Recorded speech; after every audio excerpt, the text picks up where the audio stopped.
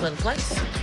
This is a busy week for me. We have a big competition, and I'm having a big ass birthday party. Thank God Tina's helping me run some errands today for my big soiree, because we gotta find a cake that's just as delicious as me. I want the cake to be five layers. Okay. I appreciate you coming with me. You know, on top of the party, we got this big competition. Then you know, you know, me and Anthony just got back together, so I got a So lot. the Anthony story. Let's go back. I mean, me and Anthony has been on and off for a long time. You don't want to keep wasting your life and wasting that person's life. Now, I hope this time we're ready to get it right.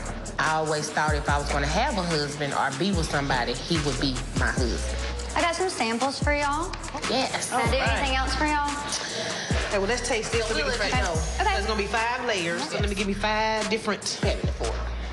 I'm not gonna let y'all down. This party is gonna be, hopefully, everything. Well, I mean, I'm right. not worried about you letting us down. I want to make sure that your mental is there with all the stuff you got going on with Anthony and If we don't get it right this time, we will be chapters of our past, and that's just what it is. That's just what it will be. I'm sure he don't want that because he wouldn't he wouldn't have gotten back together with you to be a chapter.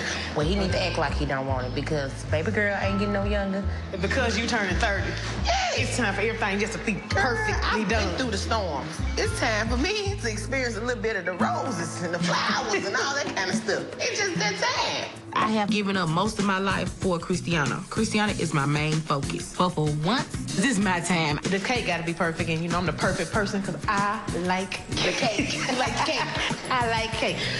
Sweet, sweet, real sweet. So Christiana, you come up, Michaela, you come up, and uh, Micaiah, you come up. So Zoe, O'Shea, and Haley are the three of the smallest members. Y'all should be able to do this trick. What you're gonna do is pick them up, and they're gonna wrap their legs around their, your waist, but and then swing their legs out straight. It's day two, and I'm gonna continue to change to the playbook. We're gonna turn black ice to dirty water. So let's try it. Get with a partner. Get with a partner. Hold your balance. Don't hit the floor. Another trick? We haven't even learned the other one. five, six, seven, eight. One, two, three, four, five, six, seven, eight. Straighten your legs out. Come on, trust her. Y'all gotta trust each other. Five, six, seven, eight. One, two. Hook the feet. Black ice is gonna come for y'all.